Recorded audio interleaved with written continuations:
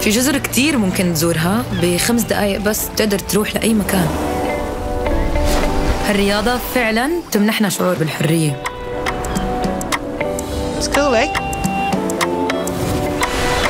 بديت هذا المشروع عشان يختبر كل واحد فينا هالتجربة وطموحي تصير ابو ظبي عاصمة عالمية لركوب الأمواج. أنا بدي أشوف قد البحر الجو جميل وفريق العمل بجد هايل. صارت هوايتي المفضلة. تخليني مرتاحة نفسيا.